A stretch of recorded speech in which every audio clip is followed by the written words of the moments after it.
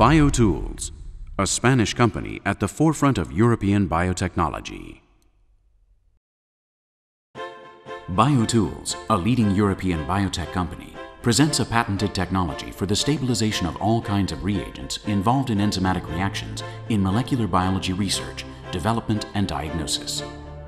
Gelification is a process where all components of enzymatic reactions are stabilized for long periods of time at room temperature by the addition of gelifying and stabilizing agents.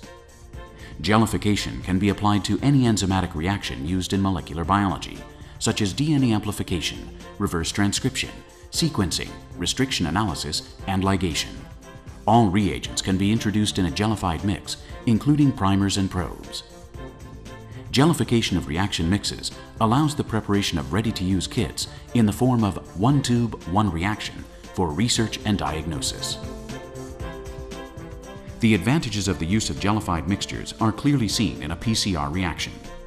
Let's compare the setup of a PCR reaction using liquid reagents and gelified mixtures. Setup using liquid reagents consists of five steps. The first step consists of thawing each reagent. Thawing is performed on ice and lasts 10 to 20 minutes. In the second step, reagent vials must be homogenized by vigorous vortexing.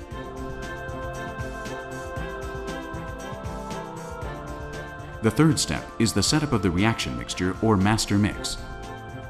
The process is performed on ice, so the degradation of the reagents and undesired interactions between them are avoided. Extreme care must be taken in this step in order to avoid false negatives due to the mere non-addition of a reagent or false positives due to contamination with exogenous DNA.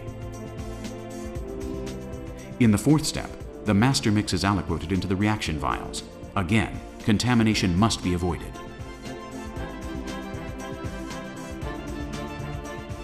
Finally, DNA is added to each reaction vial in the fifth step.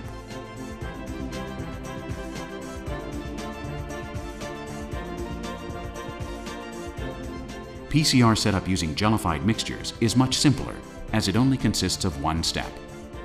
Gelified reaction vials include all necessary reagents for performance of a DNA amplification. Therefore, only DNA and water must be added, and the process is performed at room temperature. The reaction mixture will only be activated when resuspended by pipetting, or when temperatures above 90 degrees Celsius are reached. This means that a hot start effect can be achieved at the user's will. Use of gelified reaction mixtures results in ease of use, specificity, sensitivity, reliability, and efficiency in each reaction, in comparison with the uncertainties associated with the use of traditional liquid formats.